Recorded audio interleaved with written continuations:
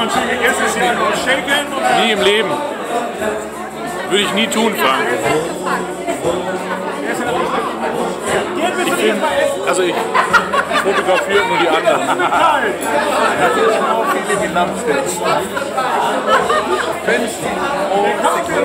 Nee, 25. 25